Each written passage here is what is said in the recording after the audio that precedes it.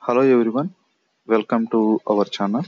In this video, I am going to show you how to create a virtual private cloud, nothing but a VPC. To create VPC, I am going to follow these steps. First, I am going to create a VPC.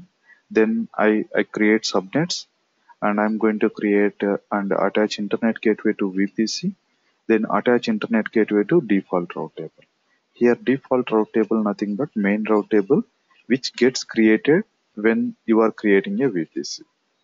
So let's jump into AWS console and we'll see. This is my AWS console. Here usually we have one default VPC. Every region comes with one default VPC. In production environment we never use default VPC that's why we have deleted. I'm trying to simulate the how the production environment looks like same way and there is a one more option called start vpc wizard this is also i'm not going to use.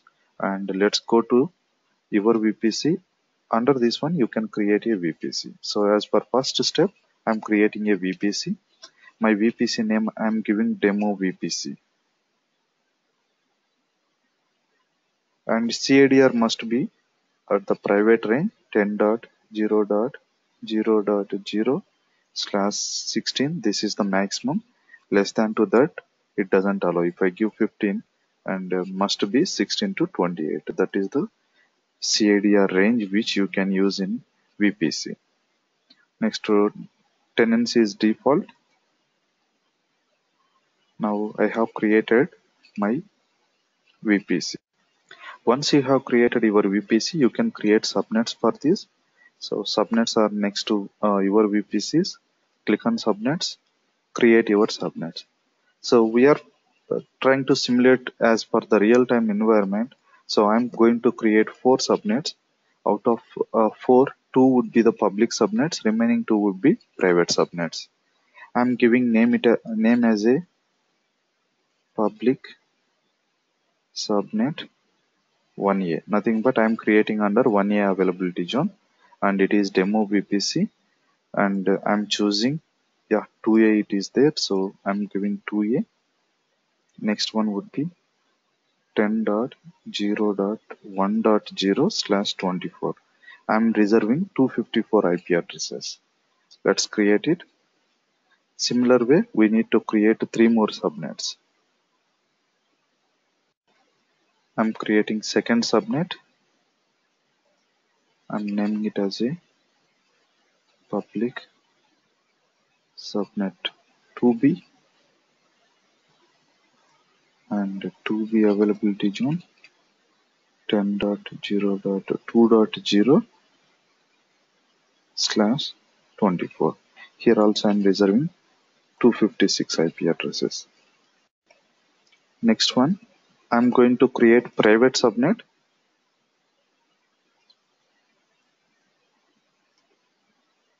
And this is also under 1a availability zone itself sorry 2a availability zone itself and CIDR, CIDR range is 10.0.3.0 slash 24 if you want to know what is the difference between public and private subnets please watch our next video. There I'm going to explain clearly. Private subnet 2b and it is 2b 10.0.4.0 slash 224 now I have created four subnets and the next step would be creating internet gateway. You can create internet gateway. It is attaching for demo that's why demo IGW I am giving and uh, one internet gateway can be attached to only one VPC one VPC and uh, at the same time one VPC cannot have multiple internet gateways. So now I have created and attached our VPC IGW to our VPC demo VPC next step is we are going to route table and this route table is going to get get creates whenever you are creating your VPC so this is we call it as a main route table. If you see here main is yes nothing but it is a default or main route table we call. And uh, it should accept our traffic from outside. For that i'm going to add under route table our internet gateway. Internet gateway nothing but it's just like a internet connection to our private cloud so that's it. We have created our vpc but currently all subnets are public subnets because if you go and check in the subnets association you could see all subnets are atta- attached to the route table where you have internet gateway. So we call it as a public route table and uh, these all subnets we call it as a public subnets. And uh, please watch our next video to understand difference between the public and private. There i'm going to create a private subnets and also internet gateway. Thank you. Thanks for watching this video and see you in next video